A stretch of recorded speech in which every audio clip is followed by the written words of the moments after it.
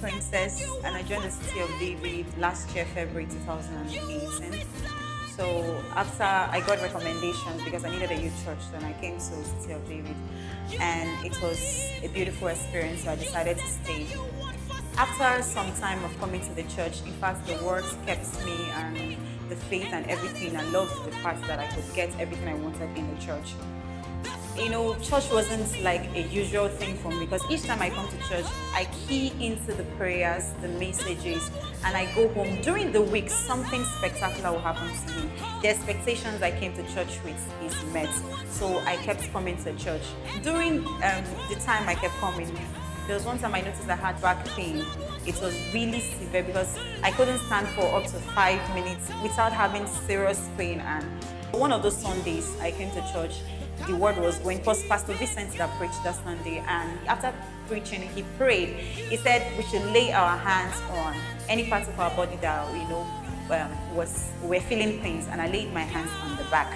And I prayed earnestly. So after I prayed I forgot about it. Until some weeks later I remember that oh I was actually having back aches and I don't have the back aches again. And I decided to oh God God you're faithful and I give glory to God but there's something about City of David. You don't just come and you remain the same. If you remain the same, then you're not coming to church. And it is believed that not everybody comes to church for the same reason.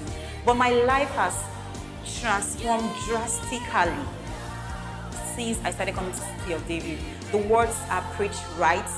The atmosphere of praise and worship are right everything I want and I desire. As long as I have it in mind, is my expectation. In fact, during the week, my whole mind is come to church, pray about whatever is bothering you. And as I come to church and I pray about it, I just forget it and I just have peace.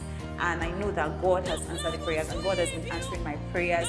And I give God the glory uh, for that. If you know you came to church and you decided, like, mm, let me just come and visit this is where God dwells. We all know that Jesus is everywhere, but he dwells in City of David. This is where you get answers to your prayers. This is where you get direction for any and everything you ever need.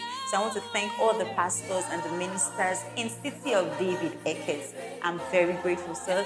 Thank you for being sensitive to the Holy Spirit. God bless you.